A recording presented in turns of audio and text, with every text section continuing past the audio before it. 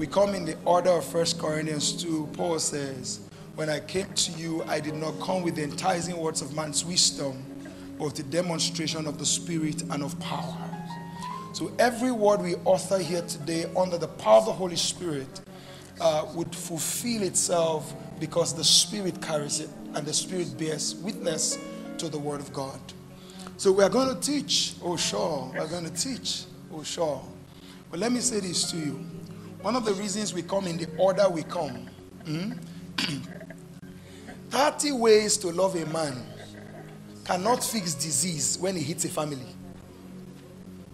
You know, I, I, saw how you guys cleared this place for prayer on Tuesdays or so. Ah, I'm like this pastor. Oh, I love this pastor. Now, fine pastor, no fine. 15 ways to reconcile does not fix certain demonic quarrels. This one, you just know a demon. A demon entered the house. Are you ready?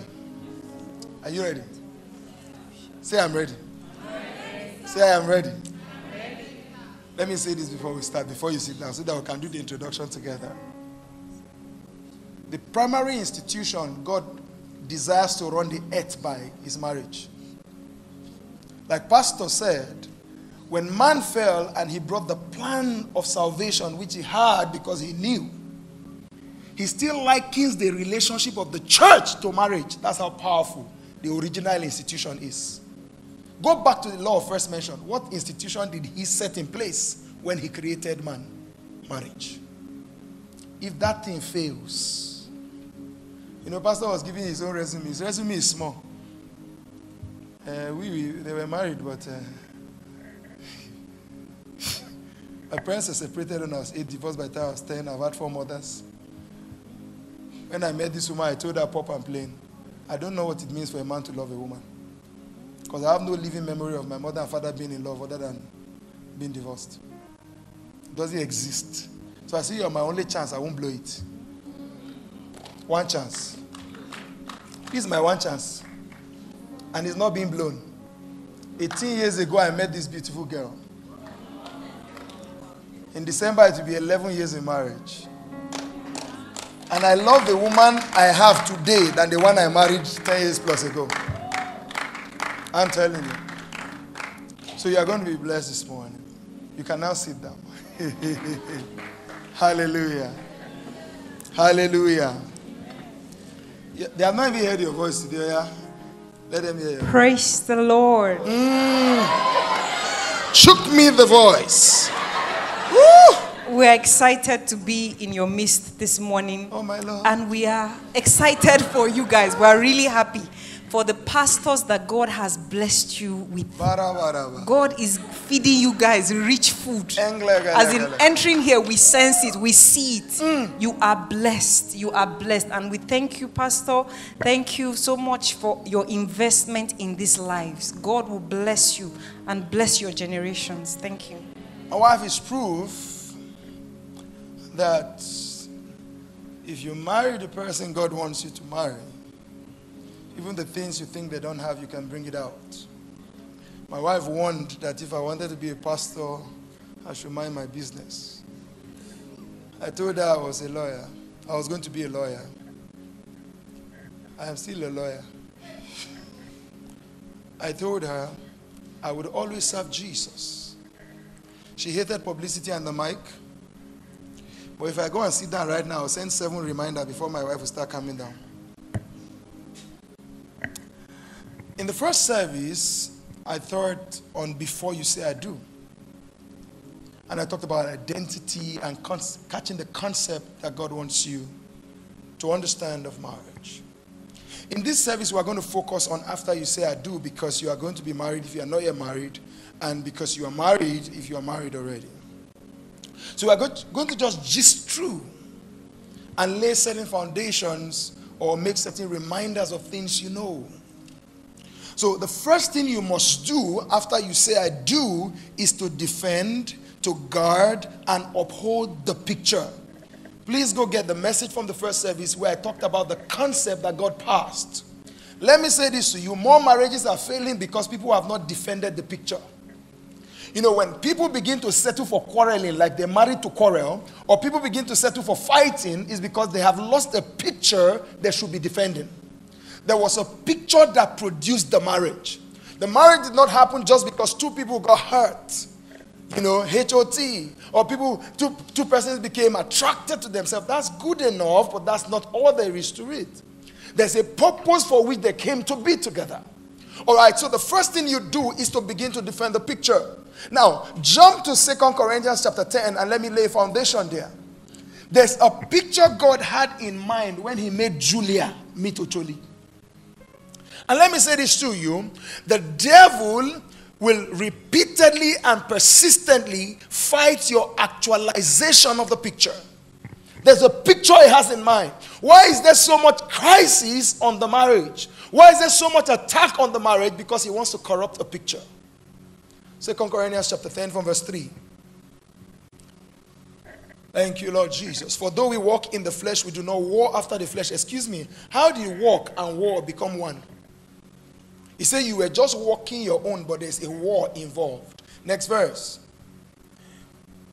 He said, For the weapons of our warfare, excuse me, did you enlist in an army? You didn't pick the battle, the battle picked you. and God, God did not say, reject the battle. He said there's a war. Let me even ask, man of God, why did we get an armor if we're not at battle? Why did he say put on put on the whole armor of God? Did I say I am fighting? Because a battle selected you. You know the battle that selected him? The battle he referred to. Hmm. but mighty true God to the pulling down of strongholds. Let's identify. Semicolon. I don't really, I'm not very good with English, but semicolon, I know the meaning. Explanation is coming. Let's go on. Next verse. casting down imagine. More marriages are failing because of the imaginations gathered before they're married. That's why more marriages are failing. That's why some of us seated here today, you are going to go to social media and audit what you follow. I saw one foolish one the other day. Said, please, please, please, please, please. I am human. Don't put pressure on me with the Proverb 31 woman. That's a fool. Her following is large. Why won't I put pressure on you with the Proverbs 31 woman so that you can die in the fall of man? What's the use of the word of God? For correction, for rebuke, for instruction in righteousness. Men are coming to the point where they call this, don't put pressure on me. This is not pressure, this is life. This is not pressure, this is life. Let me tell you, the long and short of why this woman is happy is because this is happening. I was wrecked enough to wreck a woman. Like me, many of you have had to deal with pain by people who don't even know they have caused you pain and have no apology to offer. Like me, many of you are coming from systems that made it impossible to conceive marriage as a sweet thing. This became my hope and translated to her hope. Casting down imaginations. Why did the devil come for you so early? We were conceived in iniquity. You grew up seeing marriage fail. Your subconscious is locked with a picture. So God says we should catch a picture.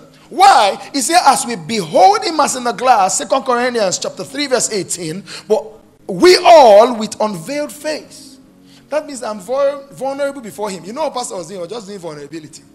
See, I'm a product of fornication. See, let's not try to hide where we are coming from. Mess happened.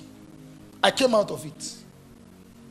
It's Pastor Kingsley Okonkwo that said, You may come out of a broken home, but don't let a broken home come out of you. Mess. Some of us, it's not just the mess that happened through our family or our neighbors, our uncles or our aunties. You know, there are people when they talk to you, man of God, they, they have the history of all their aunties that have not married at 57. You know what's happening? The devil is planting an imagination. They have pictures of marriages that have failed. You know when someone say marriage is scam, marriage is not scam. It's a picture you swallowed. But as we behold him as in a glass, we become like him. So the first thing everybody married in Christ must do is to defend the picture. Is to defend the picture. The picture I was, you know, I was planted with is a lie. If you don't learn to call certain things out, you will not live the right life. That's why I'm very vocal when I see those people posting nonsense on social media. Ah, I know they keep quiet for that one. Why? If you put poison in your cup, it may kill only you. But when you put it in public stream, my children may grow up to drink it. Yes, sir. when my children grow up, let them be able to quote the things I called out as a lie. That's a lie. That's a lie. That's a lie. And this is the truth. Let me tell you if I read only this book and nothing else, I'll be a good husband. Because it tells me to love my wife as Christ loved the church. How? While we're yet sinners, Christ came and died for us. My love is restorative, not judgmental. Oh, the overwhelming, never ending, reckless love of God. Oh, he chases me down, fights till I'm found, leaves the 99. Hey, hey, hey. Bros, bros, bros, let me tell you. Stop singing that song and crying in church. Go and love your wife with it. Stop tearing up in church. When you sing such a song as a man, remember it's an instruction to you.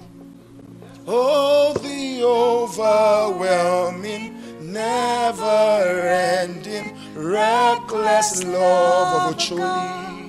Oh, he chases me down, fights till I'm found, leaves 90, 99 other women. Uh, this is not just leaving the 99 of uh, I love them too. No.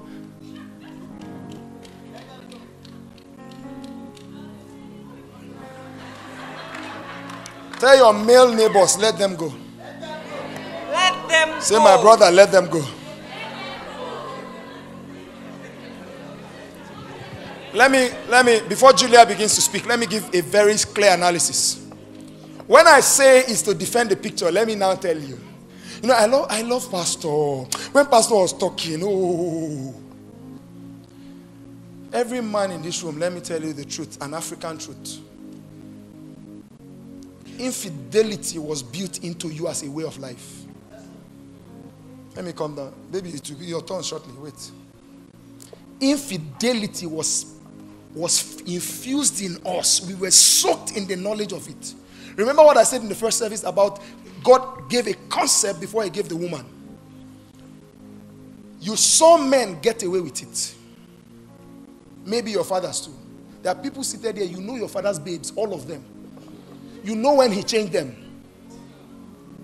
It was planted in you as a way. You didn't just see men get away with it, you saw women put up with it. So something in you told you your wife will survive it. Planted a picture that is dangerous. Let me say this to you, man of God. I say this with every sense of responsibility. I tell people the reason I don't share any story of scandal, by the way, when sometimes some news are making rounds in the body of Christ, I counsel some of the people involved. But you never hear my voice because scandal is an opportunity for the devil to weaken the body. Yes, so a gentleman is standing and say, if that man of God can do it, who am I? Yes, it's a picture. It's a picture. I don't share it. Ask people close to me. If I ever address it in close circles, I teach principles based on it. Why? It's a general system of weakening the body. So the person stand there and say! And can I tell you, God told me this one, I was shocked. He says, Do you know I cover my body? Do you know I protect even in those situations? I still protect. He says, Not just the person involved, it's the army that will fall after the person. So he said, There are stories that have not let go out. Not because I'm endorsing the sin of the person falling, but I must protect an army whose picture must be protected. So, you thought it was just divorce. You thought it was just your neighbors were fighting. Something entered you. Something entered you. So, there's a picture to protect. Something entered that said it's okay. Something entered that say he got away with it. Something entered that say he has three wives, but see, he has money. And that's why we must teach people to find God, not things. Because people can find things minus God. People can find things minus God. Be careful what the devil convinces you you can get away with. That's the picture we're talking about. So the guy gets married, takes oath of marriage in church, and does not understand why adultery makes sense to him. He doesn't understand. A picture was planted. So the first contention you do after I do is to ask yourself, what must I reject, including the ones that are inside? What must I plug out? Uh, can we uh, go to uh, Romans chapter 12? I really hope you have uh, the Amplified or the Message translation. If you do, please search that out. I want to read it from the Message precisely. Romans chapter 12, 1 and 2. If you don't have that, just put what you have.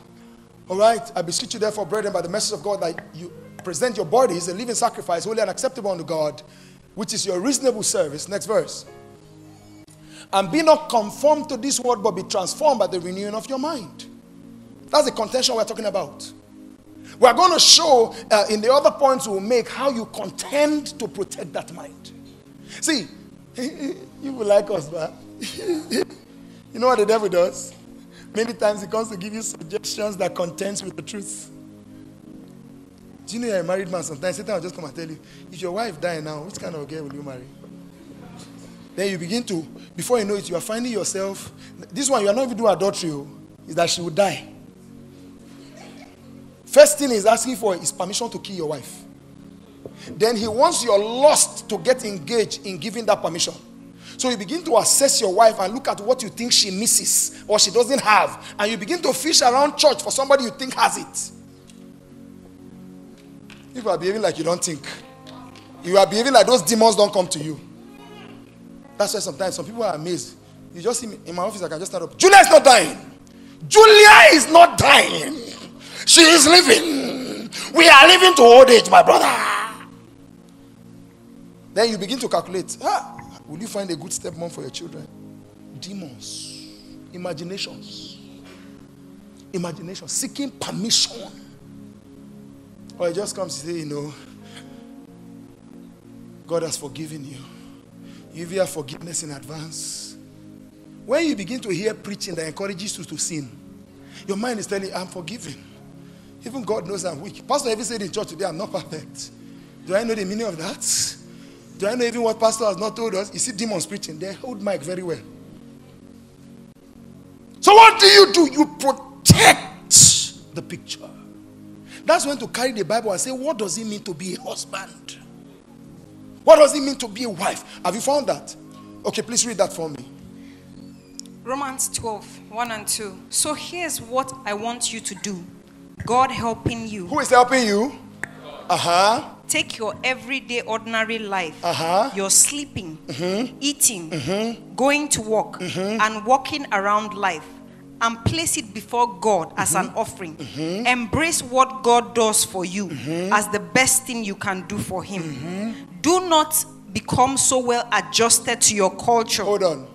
Do not become so well adjusted to your culture that you fit into it without even thinking. That you fit into it without even thinking. Yes. Instead, instead, fix your attention on fix God. Fix your attention on God. And you'll be changed. And you'll be changed from the inside from out. From the inside out. Readily recognize what he wants from you. Readily recognize what he wants from you. And quickly respond to and it. And quickly respond to it. Unlike the culture around you. Unlike the culture around you. Always dragging you down to its level of immaturity. This is what the, the culture is doing to us. It's dragging us down to his level of immaturity. Do you know when a man cannot hold his penis, he's immature? Do you know? You don't do. Continue.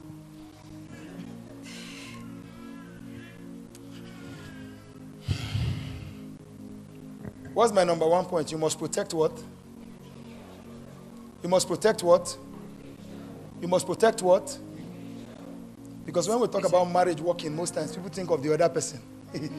Go ahead. God brings the best out of you, develops well formed maturity in you.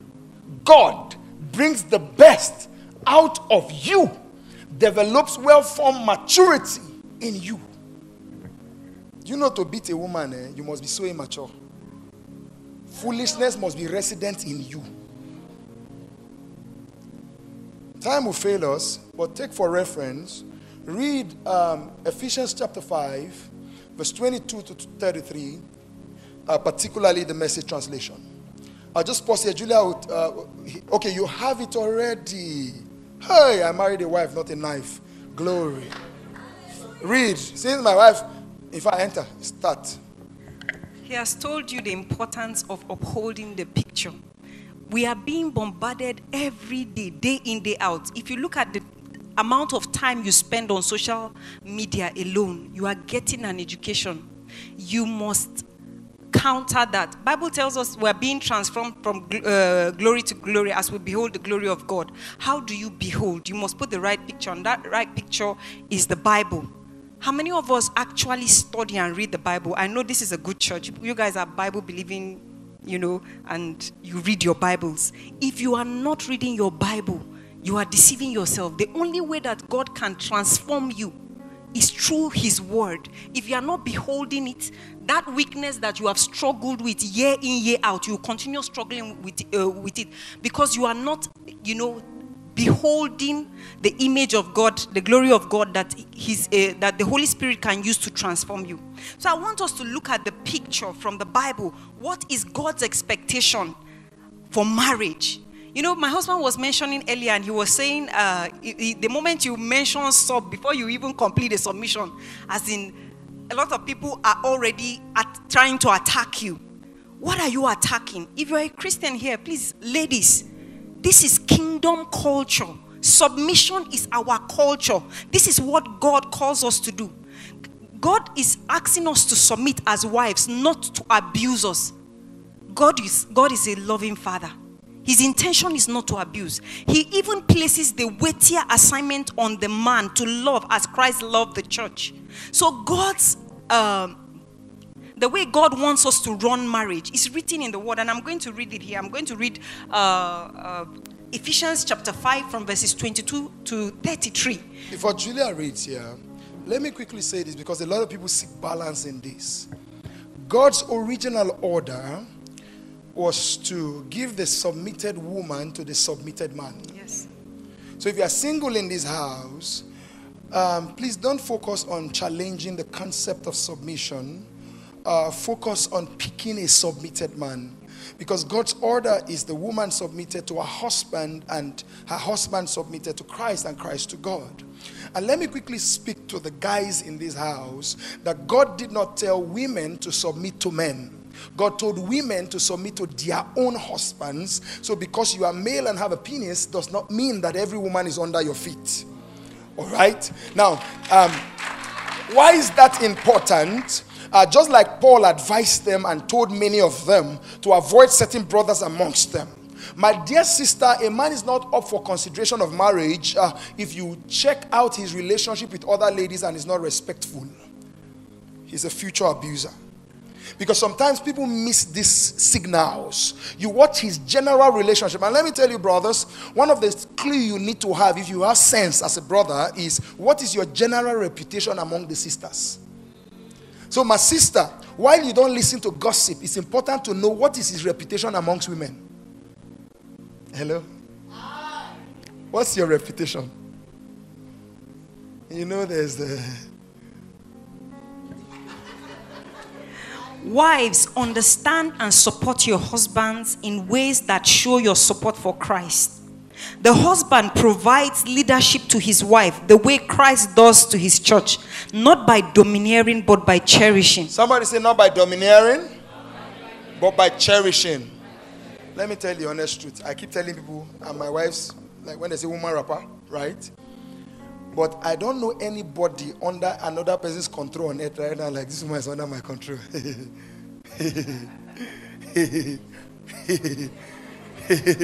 I have a mumu button. this girl, ay, ay, ay, laga, laga, la. I get anything I want. And you know how? By loving her lavishly. If you follow me, you know I talk about my wife more than myself. I'm buying peace for myself. I have a very peaceful life. The, the, way I love my wife is not possible. The way I defend my wife, you can't try it. I kill you. Somebody say, hey, you didn't hear Daddy G.O., the righteous Daddy Gio. Daddy Gio. Say the only thing, the only thing that can make him kill a bear, touch his wife. You know, some men, eh, their stupidity is intense. You are punishing a woman and you think you have peace. You are foolish. You are hiding account. What, what do you even have? You and Dangote can you compete? You are hiding money, change. Ordinary 16,507 kobo in your account. You, you are behaving like you are rich.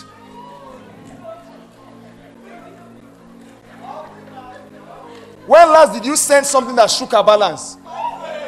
She just call and say, Baby, um, I noticed you just sent some money. Like, what am I using for? Say, Keep it.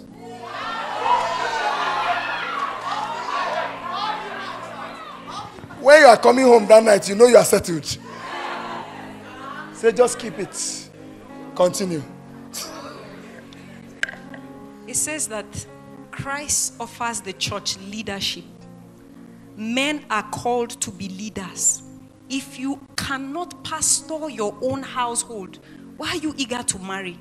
It's a heavy assignment, and families are failing because a lot of men are not stepping into the shoes of leadership. Look at the way Christ leads the church. Men are called to be leaders. If you are if, if you marry a man that is not sitting in his position as a leader, you will be frustrated as a woman. You will push a man. Do you know how hard it is to push a man? let allow that man to be a leader if that man is not taking the initiative he's not taking the initiative to move the relationship don't push it you will suffer when you marry that man God wants you to stand in position as a leader, as a priest over your home. And you cannot do that if you don't feast on the word of God. The Bible says, study to show yourself an, a, an approved workman, rightly dividing the word of truth.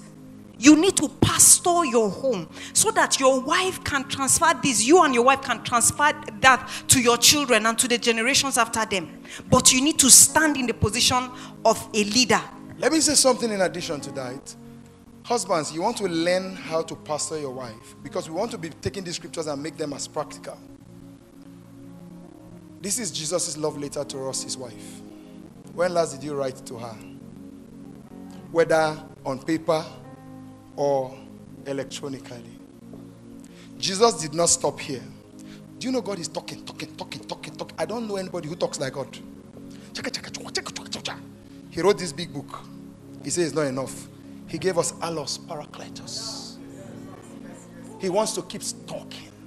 He didn't stop there. He gave you pastor. Ha, ah, which kind of communication God is this?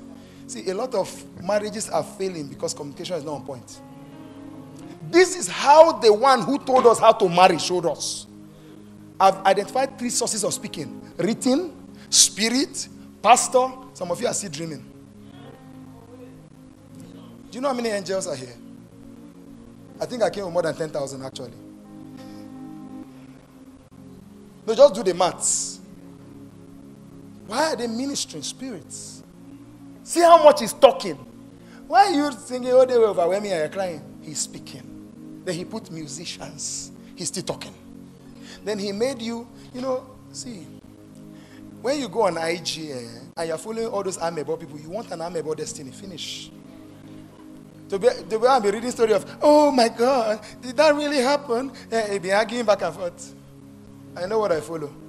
On Instagram, we have over 54,000 following at the moment. We are following less than 300. I don't do follow for follow. What am I following you for? What will I get if I follow you? Because God wants channels to speak to me. So I must speak the vessels by which He speaks. Continue. So, just as the church submits to Christ, as He exercises such leadership, wives should likewise submit to their husbands. Husbands, go all out in your love for your wives, exactly as Christ did for the church a love marked by giving, not getting. It's in your Bible, it's Ephesians 5 we're reading. This is just message translation to make it easier. A love marked by what? Giving, not by getting. I'll let Julia say some things here, but let me say this. We love him because he first loved us. My dear sister, principle number one if you are pushing him to feel the relationship, you see that car where they push, he goes to knock. A man that loves you doesn't need encouragement to show it. I need you to quote it. A man that loves you does not need a push to show it. So he has not messaged you in three days. You are chatting me for counseling. No. Give yourself sense. He doesn't respond until you push, push, push. You are complaining. Now, let me tell you, for a lot of them, the problem is he was not even so before. You knew when it was doing him. How do you push this after marriage? My dear brothers, hi, I was telling our school of marriage this yesterday, they thought it was a joke. A lot of women arrive at menopause faster because their men did not engage their emotion. It's like they married them and began to wind them down. No more attention, no more communication, no more loving, no more lavish loving. That's why you see some very loved women. Menopause goes further. Come and tell me it's medical. But a woman who gradually moves from two times sex a week to one time a week to one time in two weeks to one time in one month, you think it's age. It's not age, it's lack of engagement. Something is not happening in our emotion. And I've not seen a place where women are damaged that way, like in Africa. And I'll prove it to you. You gave her belly, she carried it. You left the entire kitchen to her. Your laundry down to your boxer is her responsibility. Then you come home, you want to do, do what? Something's wrong with you. A lot of women are, are burdened. It's the responsibility of a man to unburden her. I'll give you an example here, then I'll, I'll let her shoot. 2019, our ninth anniversary. Somehow, I didn't even know COVID was coming at the 10th. So, you know, we had come through two years of some real financial issues. Somebody cost us a financial situation. So I just felt, let me reward my wife at a very special level. So you know, you know the principle of pay small small, PSS. You know, that's why I say if a man loves you, eh, anniversary for December by July, I started PSS with the travel agents. I mean, we had traveled to different other countries, but the Dubai that everybody goes, she had not gone. So I'm like, let me just reward this woman with another vacation. Just listen, oh. I went as far as through her boss, got her permission off work for the days. I mean, I did PSS. She didn't know. It was going to be a surprise. So in December, we got family and friends to the house to unveil the surprise, a day to the anniversary. So women are already feeling good. That's how much you can make a woman easy. So we unveiled it, and I said, We're headed to the airport now. Air Guinea. In the airline, she had never flown. By the way, we're wearing our crested vest. They thought we were doing honeymoon. I told the air hostess, the honey Guinea, nine years in, they were all surprised. I made them celebrate us in the plane. She has to feel good. See, we got to Dubai. Eh? Let me tell you the truth. Even when I messed, it was romantic. Everything was romantic. You say your wife is not turned on. Turned on? They left the switch in Nigeria. They owned it in Nigeria and left the switch in Nigeria. Your wife is not turned on. Something's wrong with you. You are not moving. I say, Mumu bought is in my hand. You are talking. My life goal with this woman is to keep her perpetually. Continue. Everybody, repeat after me. Marriage is work. Marriage is work. It doesn't happen by accident. You see, I, I, we, always preach this. If you're entering marriage, you must enter it with the farmer's mentality. Bible says it is a love that always gives. It's not focused on getting. Yes, you will get. But don't just marry because of the, you know, the love you want to feel. If you don't give it, you are not entitled, as, as in you don't get it back.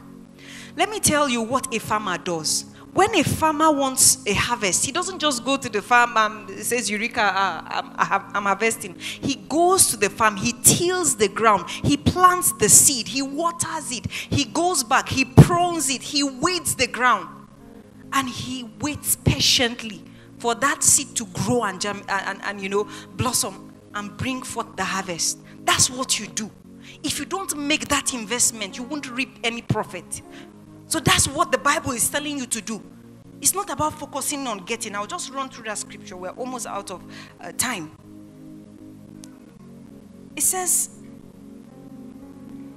it says Christ's love Christ's love makes the church whole. His words evoke her beauty. Everything he does and says is designed to bring the best out of her, dressing her in dazzling white silk, radiant with holiness. And that is how husbands ought to love their wives.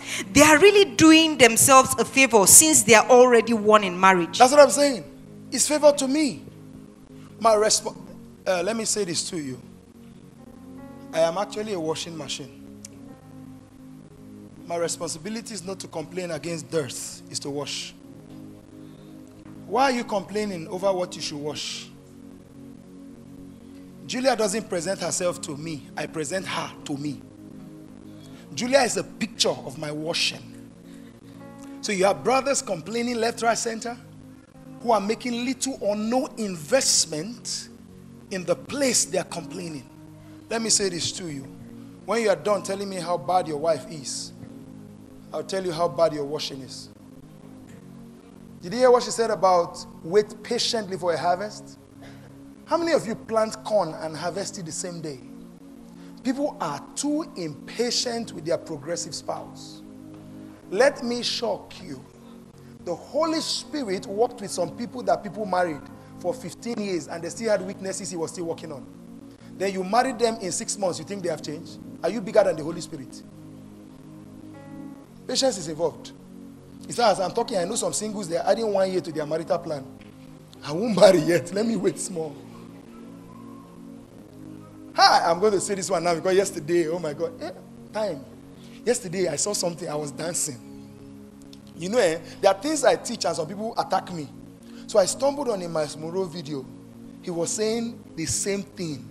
Hi! You know when you get some kind of validation of glory, hallelujah. He was teaching a singles conference. then he looked at them.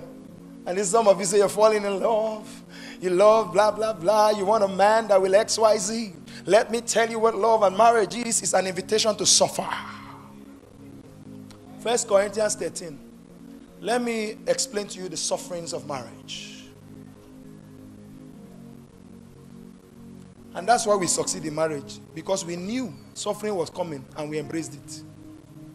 But you know people that have a let's just go enjoy the romance. This is the woman I love. She's the center of my world. This is the woman I love. I do. You make me go. You make me go. She just give you one surprise. Shock you like naked wire. You're confused. First Corinthians 13. Before Hey, time's up. Wait first. We're still waiting for Tim Coffrey.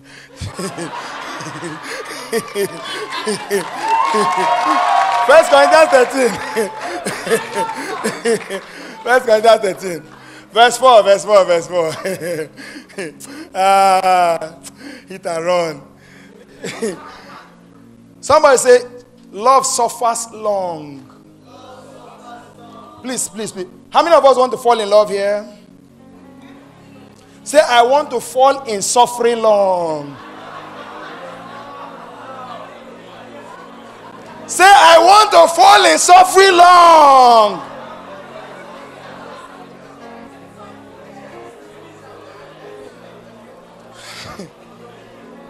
Say, I will not envy. I will not vaunt myself. I will not be puffed up. Baby, touch my head. I'm your boy. Touch it, touch it. Touch it well. Touch it. Rub it, rub it. I'm your boy. I'm your boy. Yes, baby. Let me not lie to you. I confess to you. For over a year now, we have decisively been without a house help. We have 10 year old, 8 year, and 6. The volume of plate I have washed in the last one year plus. The volume of plate I have washed, man of God. I bear on me the mark of Christ. See part of the cut of, of, of cup. You know, some people just want to come. I'm the man in this house. Yeah, you're the man. Mumu. If your boss walks into the office and says, I'm the boss, I'm the boss, wouldn't you think he drank something? You show it, you leave it out. Let's just finish this. Next verse, next verse. It does not behave itself unseemly, does not seek her own way, is not easily provoked. You want to fall in love? Baby, continue. No one abuses his own body, does he? No, he feeds and pampers it. That's how Christ treats us, the church, since we are part of his body. And this is why a man leaves father and mother and cherishes his wife. No longer two, they become one flesh. This is a huge mystery, and I don't pretend to understand it all. What is clearest to me is the way Christ treats the church, and this provides a good picture of how each husband is to treat his wife, loving himself in loving her, and how each wife is to honor her husband. Are you seeing how clear that is? Two quick points because we want to minister. Two quick points, but just rushing through. Number two thing, we talked about defend the picture, strengthen the picture. How do you strengthen the picture? You focus on the right revelation, the right information, and the right mentors. There are people I look at, I know it is impossible to fail. I stood in a conference, and my pastor said then, they were like 22 years in marriage then, boldly from the pulpit. Because for every weakness Satan advertises, there are strengths we can pick from. And said, By the grace of God, I've been in this marriage 22 years. I've not been unfaithful to my wife. I turn to the men standing around me and say, What category of insult is this? But can we be charged up and ask yourself, in 20 years' time, what would you say? We strengthen the picture. That's why I select what I follow. Strengthen the picture. Third point we have is you seek grace again and again. Why? Without grace, you can't even deliver the picture. It's impossible. You see good marriages and we pretend like we just know it all and a lie. A lie. All right, so uh, quickly just run through this. Why do we need grace? Why do we need grace? Why do we need grace in the marital context? Because you are weak enough to fail in marriage without grace. Uh-huh. Because you cannot deploy the knowledge you receive without grace. You can't even deploy the knowledge you receive without grace. Have you ever been in a situation where, see the sense you had, all right? Have you ever been in a situation where you know this thing, oh, this is what I should be doing, but you are not doing it. Why are you not doing it? Because you are not deploying the knowledge you have received. Uh huh. Because it takes grace to intercede for your partner, for their soul, for their peace. In fact, this is so important. This is so important. Now, watch this. Marriage will ordain you into certain offices. Let me very say this instructively because we're talking about after you say I do. Marriage will ordain you into certain offices. And let me quickly say this Number one, the office of enjoyment when it's all good. Number two, the office of intercession when your spouse is missing it. You know what a lot of people do? They fight the one missing it. Have you ever watched any movie that has to do with like a team, military team, they go on an operation or something? When your partner takes a bullet, what do you do? You shield and carry them, trying to save their life. But what do people do? Look at him! Look at her! So marriage may ordain you into the office of an intercessor. Here's the deal you don't intercede without grace. Why? How can God be calling the one that is injured to intercede for the one injuring him? It takes grace. And that's one of the offices marriage will ordain you, whether you like it or not. Because the person you married is not the blessed Holy Spirit, he's a human being. So that's why you need grace. And there are two dimensions of intercession. The first dimension of intercession is God. Please suspend judgment. Because right now, the person who deserves judgment is my partner. Number two dimension of intercession is intercept them with the light. Because there is just how far I can plead mercy. Light has to come. So when Stephen prayed, of course, God intercepted judgment and stopped it, but he needed to meet Paul with the light, if not, he was, he was self destruct. Because people can actually step out of God's grace by their own leg and enter destruction. And you are interested in this person because this is the person you married. His destruction is your destruction. In a sense. Why do I say so? Do you want your children? You know, sometimes when people just fling divorce on the head, you just laugh. There are children involved who you are about to pass a culture you may not be able to defend. Then children that should be loved and nurtured are now in the tussle of who has custody. It begins to damage something in them. So when I tell couples to intercede, they just feel I have brought Christianese. You know, you don't know how he abused me. You don't know how, he, how she slapped me. You don't know what she told me. I know. That's why we go for grace because it takes grace to even intercede for your partner. All right? Then, of course, like Paul said, you know, Paul came to him three times. He said, and he said, My grace is sufficient for you. It takes grace to retain a good character when marriage is going through turbulence. The next point. You need grace to see through the lifespan of your marriage. Do you know every marriage ordained by God has a lifespan? Every marriage. It takes grace to see through the lifespan. Now, there are two dimensions to that. Dimension number one is that Satan brings enough distraction to make them ineffective through his lifespan. So they can be married for 50 years, but a useless 50 years. So it takes grace to maximize the lifespan of the marriage to start with. That we are together is not enough. Our success here is that is not that we did not divorce, is that we did what God sent this marriage to do. Hi, I had the misfortune, man of God. I was teaching in a wedding in Kaduna. There were 20 something reverends of that denomination on the pulpit with me. I was the only unordained teen on that pulpit. If I, when I walked into the pastorate, the first question they asked me from which ministry, I called the name of my local church. I'm an itinerant minister, I'm not a pastor. They meant pastor of which church? I just called the name of my local church to free myself. Then they gave me 20 minutes, highly timed, not this one that increased for us. Highly timed. They were watching me. Look at this boy. Let me tell you how that church was. Somebody came up and told them they don't want to make trouble. If your hair is not covered here, we don't want to make trouble here. Irreverent. We don't want to make trouble here. He advised the ushers to give them quickly. Then, coincidentally, they spoke a language I understood. He, he left English. He turned to the other Sir Henry behind him and told them, let's not overdo. Yeah. Then I mounted the pulpit. I taught my mouth to be controlled that day. I was just entering the spirit. Preaching, preaching. 20, I had 20 minutes. I had to rush. Those kind of message that when you're editing it, you have to slow down the video so that you can hear. But I came to a point, bam, God just landed on my head. And I said, it's not about being married 20 or 30 years because Orthodox setting have it. They have it very well. 50 years marriage. But the wife is the first child of the house, not a partner. When daddy walks in, even the wife is shaking like a child. Oppression. I say it's not about being married for 40 years or 30 years. What are you doing to your wife? In my heart, you know, you can be preaching to your spirit, and your flesh is telling you, be careful. Egungu, be careful now. Express you there. it takes grace to maximize the lifespan of them. Let me tell you this. Some people are married 20 years.